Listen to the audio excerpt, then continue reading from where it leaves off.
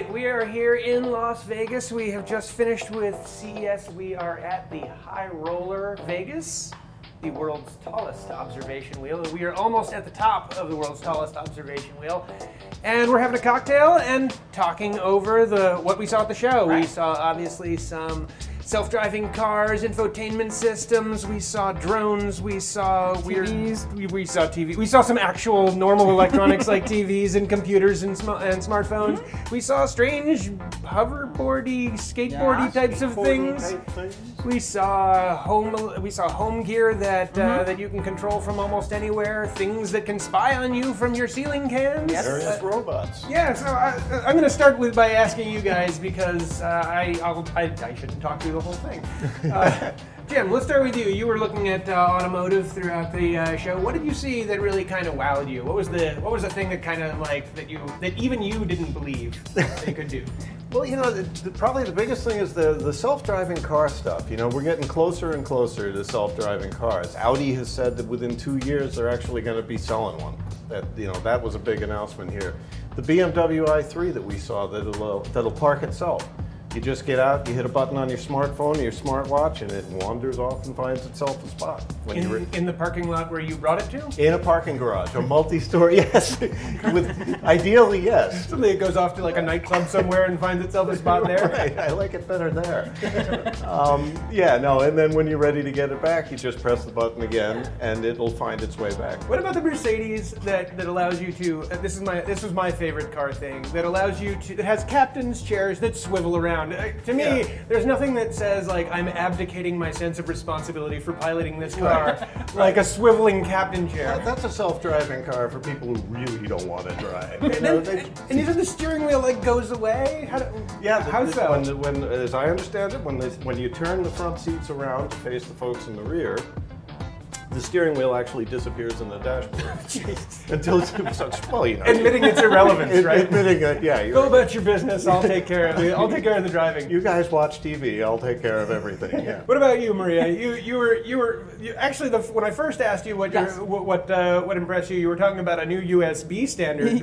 yes, a new USB standard, which is not exactly what people are no, like, but I like this. That's your engineering spirit. right? exciting You know, to you- go out and buy. But it's a new USB standard, so you know how when you have a USB plug, you always put it in the wrong way first, and you got to flip it.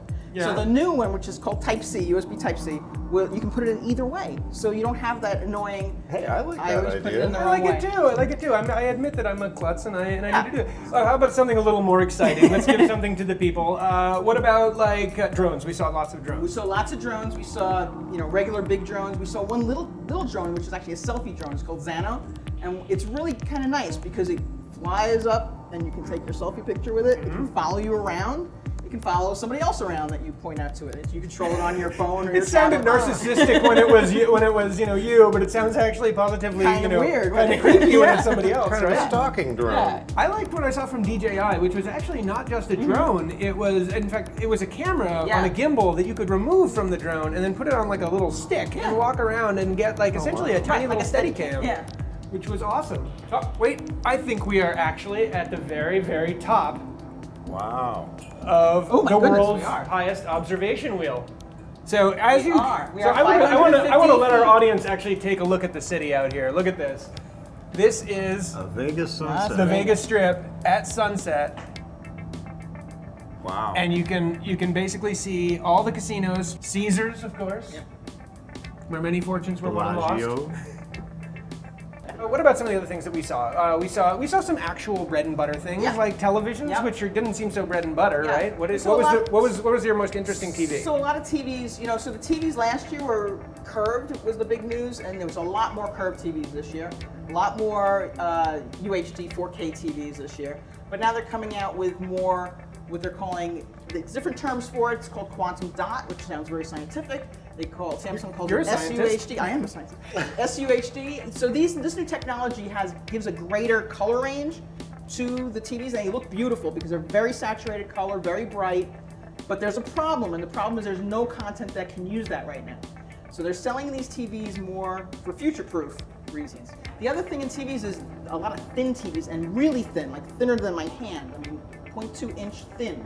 Yeah, I saw I saw the TV from Sony, and that that and I, I guess I couldn't even understand how it doesn't sort of collapse under its own weight. You ever like hold up a really big because it's not small, right? Right. You hold up a really big piece of paper and it's just going to flop over, and yet somehow they've structurally supported Yeah. this thing so that it doesn't go and you know just I guess fold like a napkin. Right, and most of them they're not 0.2 inch the whole way down. They're they're thin and then they jut out because you do in fact have to put electronics in there somewhere. Jim, you, you saw the the BMW self parking car, right? I did. And so did it hit anybody and when it tried to park itself? Did it? Not, not to the best of my knowledge. any other cars? no, again. Did it hit you? No, thankfully. So explain, show the, t- talk, talk me through the process. Like, does it? How does it know its way around a parking lot? It uses laser sensors. There's one in the front, one on each side, and one in the back of the car. So it knows what's going on all around it. And it will actually maneuver around things like the concrete posts in parking garages, other cars, and yes, other pedestrians. And I'd imagine in a parking garage you can't rely on GPS, right? Because some of them are, are covered, right? right? So it's not really using GPS. no, is that right? No, the laser sensors are doing it all. Wow. And, uh, and it'll it'll find an open parking space. It'll park itself in it, and you can go off and do your whatever it is you want to do. Talk about curb feelers, right?